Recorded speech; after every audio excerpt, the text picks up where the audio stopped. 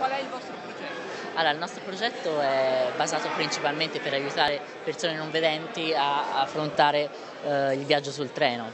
Quindi praticamente attraverso una serie di sensori che installeremo sul treno e eh, un'applicazione Android che i non vedenti potranno utilizzare saranno in grado di muoversi nel treno dove di solito in realtà eh, subiscono dei grossi disagi perché non conoscono la, conformazione del treno.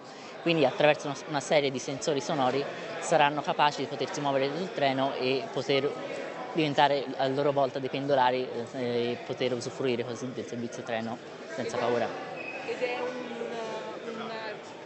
Fattibile subito? Certo, sì, sì, è una cosa super fattibile, infatti abbiamo usato delle tecnologie molto standard, abbiamo usato Bluetooth, che appunto è una tecnologia molto affermata e consolidata da molti, molto tempo e mh, gli smartphone ormai quasi, tutti gli smartphone hanno Bluetooth, di conseguenza chiunque può accedere a questo servizio.